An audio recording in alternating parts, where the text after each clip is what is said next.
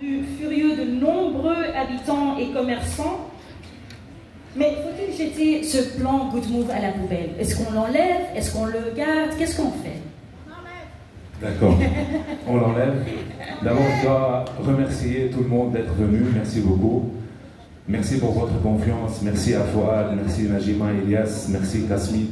Merci tout le monde. Vraiment, je ne veux pas citer tout le monde parce que vous êtes nombreux. Je vous aime. Merci pour votre confiance. Et moi, j'aimerais bien vous applaudir.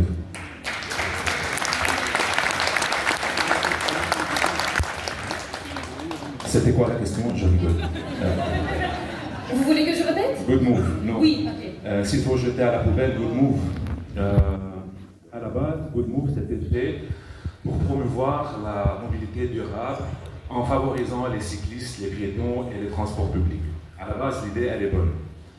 Mais ça a frustré les automobilistes et les commerçants parce que ça a, par exemple, je donne exemple rue Royer, elle est morte à cause du plan Good Move. Donc je ne dirais pas qu'il faut jeter à la poubelle, je dirais plutôt qu'il faut le retravailler.